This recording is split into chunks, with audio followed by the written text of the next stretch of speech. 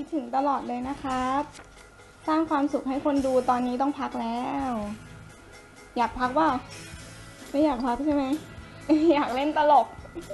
ยังอยากอยากไปเล่นทำงานเนอะ อยู่อะนะคะ ต้องบอกว่าในช่วงที่ป่วยหนักขนาดนี้คอมเมนต์ต่างๆ ค่ะ ไม่ว่าจะส่งมาขอให้หายไวๆหรือว่าจำได้นะว่าเคยดูคุณเพชรดาราฉายแสดงตลกนั้น ก็ทำให้เรียกว่าเลือดสูบฉีดมีกำลังใจขึ้นมาเยอะเลยนะคะคุณดาการดา เพราะตอนนี้ค่ะกำลังรักษาตัวจากโรคมะมะเร็งระยะลุกลาม ในบริเวณช่องท้องค่ะ ซึ่ง 3 สัปดาห์มานี้น้ำหนักลดลงกว่าครึ่งจนเหลือไม่ถึง 35 กิโลกรัมแล้วล่ะค่ะทำให้คุณเพชรดาราฉายค่อนข้างอ่อนเพลียแต่ว่ากำลังใจยังดีมาก เพราะเพื่อนๆในวงการ แวะเวียนไปเยี่ยมไม่ขาดทั้งคุณทัวแระคุณเทพโพงาม เพื่อนสนิทที่เคยร่วมกัน ก่อตั้งคณะตลกซุปเปอร์โจ๊กยกบุกยุคบุกเบิกนะคะ โดยสิ่งที่บอกกับเพื่อนฝูงก็คืออยากกลับไปเล่นตลกกันอีกสักครั้งหนึ่งค่ะ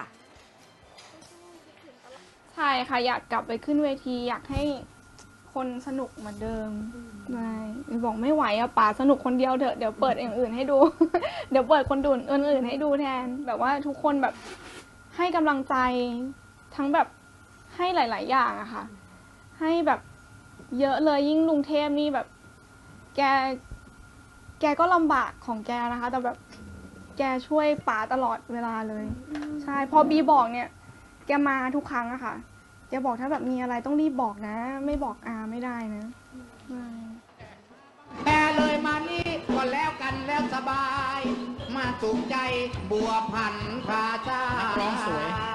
นักร้องนี่แหละค่ะก็สวยจำหน้าจำตากันได้ดี เห็นตัวเล็กๆแค่นี้แต่พกมุกมาเพียบเลยนะคะ ในยุคตลกคาเฟ่เฟื่องฟูคุณเพชรดาราฉายถือเป็นเบอร์ต้นๆร่วมบุกเบิกคณะมากับคุณเทพโพธิ์งาม และคุณจุ๋มจิ๋มเข็มเล็กนั่นเองค่ะ ก็มีมุกประจำตัวหลายอย่าง เช่น เสียงหัวเราะไม่เหมือนใครฟังดูคล้ายแพะนั่นเองนะคะแล้วก็การวางคาแรคเตอร์ซื่อๆเป็นตัวโดนแกล้งประจำวงค่ะ แต่เห็นทำงานกลางคืนมาตลอดแบบนี้ คุณเพชรดาราฉายไม่เคยดื่มนะคะ ไม่ดื่มเหล้าไม่สูบบุหรี่ แข็งแรงดีมากเลยค่ะ จนมาพบมะเร็งลำไส้แล้วก็ลุกลามไปที่ตับเมื่อปีที่แล้ว ครอบครัวบอกว่าน่าจะมาจากการรับประทานอาหารหรือเปล่านะคะ เพราะว่าคุณเพชรดาราฉายชอบกินอาหารมัน แล้วก็ไม่ค่อยทานผักค่ะ ตอนนี้ครอบครัวตัดสินใจไม่รับคีโมนะคะ เพราะวัย 79 ปีอาจจะไม่แข็งแรงพอที่จะรับเคมีบำบัดค่ะ ไม่สูบบุหรี่ไม่กินเหล้าค่ะ ยังไม่เข้าใจเลยว่าทำไมทำไมถึงมาเกิด กับตัวพ่อทั้งที่พ่อไม่เคยกินไม่เคยอะไรเลย แต่อาจจะเกี่ยวกับอาหารด้วยแหละค่ะ ที่หมอบอก อาจจะแบบพวกอะไรติดมัน แล้วก็แบบไม่ไหมอย่างเงี้ยเขาบอกมันก็มีส่วน แล้วก็พวกกะทิพ่อชอบกินกะทินะคะเขาบอกว่ามันเป็นได้หมดเลย แล้วถามคนที่บ้านปรึกษาแล้วทำคีโมดีไหมก็ ทุกคนบอกเลยว่าอย่าทำเพราะว่าพ่อแบบอายุเยอะแล้วอะค่ะ ถ้าทำมันจะแรงเกินไปสำหรับเขา ซึ่งหมอก็หมอก็แนะนำนะว่า ถ้าเป็นไปได้ก็รักษาตามอาการดีกว่าบีก็เลยทุกคนในบ้านก็เลยตัดสินใจแม่แล้วก็พี่ชายก็บอกว่า อย่าให้อย่าให้แกเลย เพราะว่าไม่อยากให้ทรมานนะคะบีก็เลยตัดสินใจโอเคไหมก็กลับบ้านมาก็